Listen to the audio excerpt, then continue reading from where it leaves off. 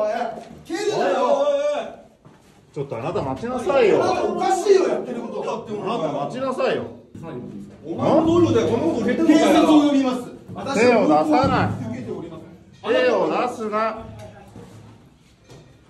何をやってんすかやめろよお前あなたさブログとかでも格闘技やってるってこと言ってんですか私みたいな素人に手を出すのか手を出したらダメでしょそういうことは許されると思ってやめろよお前。何すんだよ。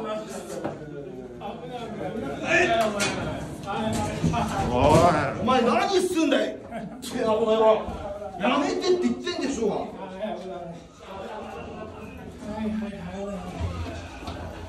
手を出すな痛いよ高さやめてくれよ警察呼んで待っててくださいそしたら何すんだよお前本当に格闘技やってるやつがそのメンタリティでいいのかよ。ありえないですよ、うん、何やってんだよ。やめろよ。い何言ってよ。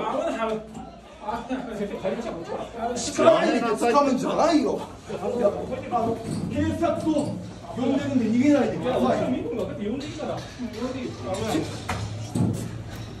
言ってるで危ない危ないあ危ないよ稲葉さん。いや足んないからもう。稲葉も稲葉稲葉不必要に手を出す必要があるんですか？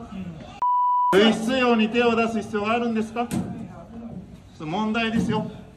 痛いよ。足をかけたりしてますけど。やめなさいよ。警察を呼ぶから待ちなさいよいや落とそうとしなければいいし待てばいい。暴行を行って逃げようとするな私は喉クエの役員だからなんで逃げないけど逃げるのはやめなさい危ないやめなさいわざとやってんだよお前は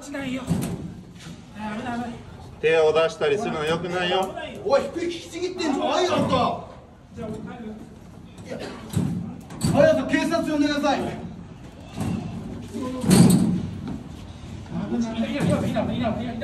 えあのこの方に服をあなたもねこいつが社労ないでしょ士なんでこんなことするんだよ社労士が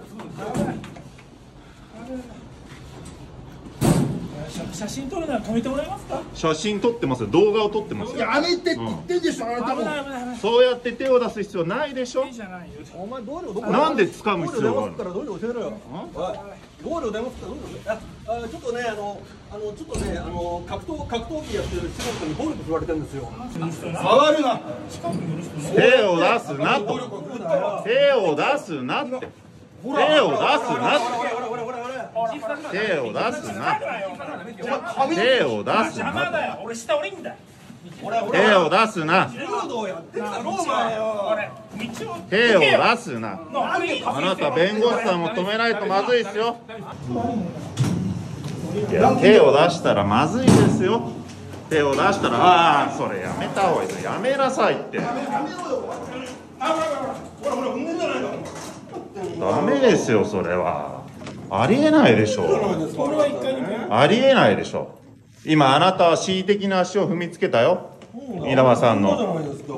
よくないですよ。止めなさいよ。さすがにこれはやりすぎでしょさすがにこれはやりすぎですよ。私はいいんですか？悪いが膝にいいんですか？事故の後遺症があってね足がほとんど上がらないいいんですか？だったらそうお前出ろなぜですか？私と喋ると不都合なんですか？私の発言が何かあなた方にとって不都合なんですか？部外者じゃないですここはシェアオフィスなんだシェアオフィス部外者じゃない。こういう暴力行為をね放置はできないですよ。何を生きがってるんだ？